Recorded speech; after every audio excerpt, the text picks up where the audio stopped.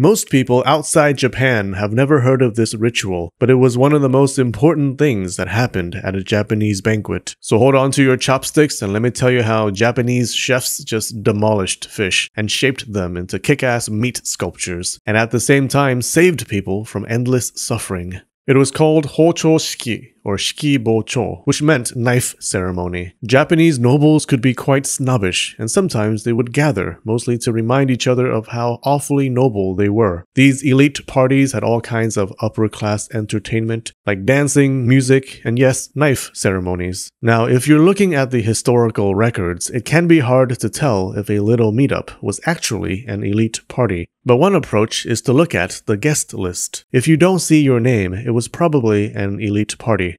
Chefs first wrote how to manuals on knife ceremonies starting in the late 1400s, but they had been doing them since ancient times. These men were not your average chef. Elites only hired the best, each one a Gordon Ramsay in an uncircumcised hat. They were called Hochonin, men of the carving knife. When the Japanese get into something, they go deep without protection, like game shows. The Hochonin had whole schools of cooking, complete with their own secret manuals and teachings. Hochonin families passed down their skills like genetic diseases over generations, serving emperors and shoguns. Like samurai houses, cooking houses traced their ancestors back to legendary ancient clans like the Fujiwara, who famously married their daughters into the imperial family, allowing them control over the Heian court for 200 years. You could call Hochonin the only professional chefs for most of Japanese history, because it wasn't until the mid 1600s that restaurants served meals bigger than little snacks.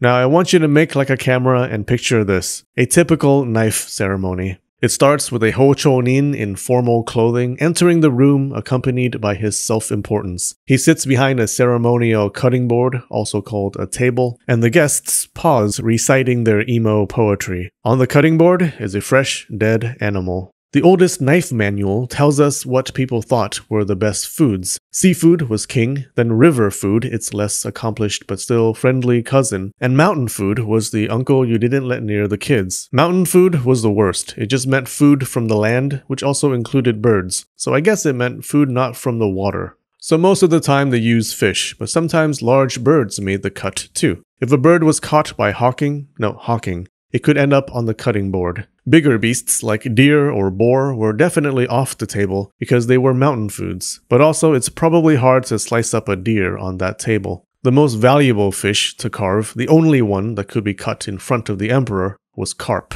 Carp was special because there's a Chinese legend that if a carp jumped over this one waterfall, it would become a dragon.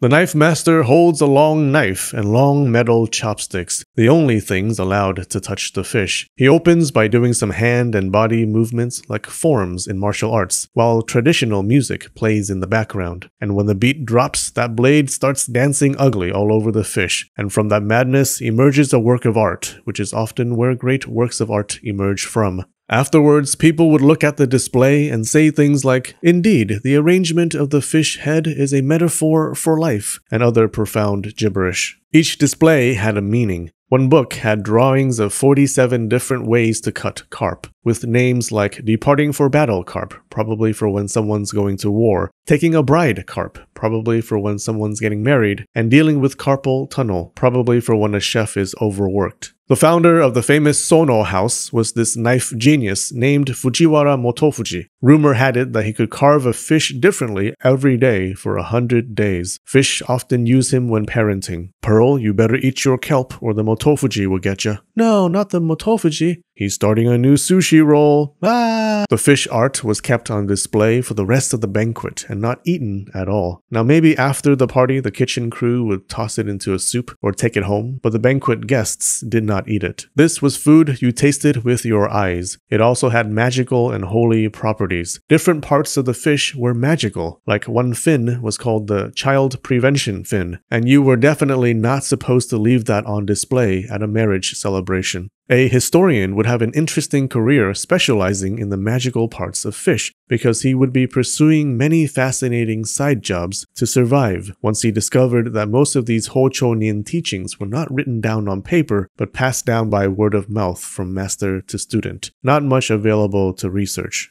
Now, if you know anything about the Japanese back then, you might be shocked that they were okay with all of this animal killing. They were Buddhists, and good, decent Japanese Buddhists were supposed to live in fear of having lava poured down their butts. You see, one of the rules of Buddhism was thou shalt not kill or dine on Nemo. Eating too much animal gained you heaps of bad karma and could land you in one of the Buddhist hells. There was also this Shinto idea that blood and death were icky. Luckily, the ceremony cleansed all the bad karma from killing and eating animals. It also saved the spirit of the animal. They were so lucky that this was what the ceremony did.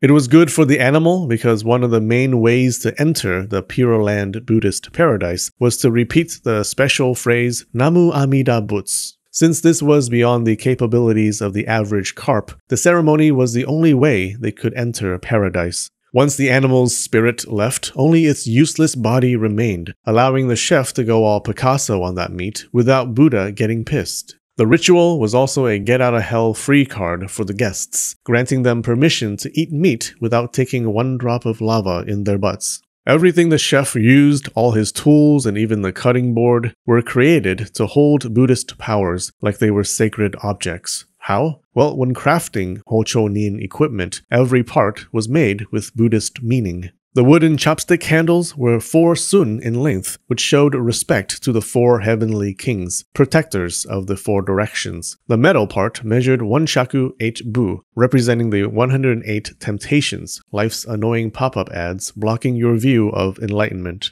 It also had 36 notches, which represented the 8 volumes and 28 sections of the Lotus Sutra, one of the most sacred texts in Buddhism.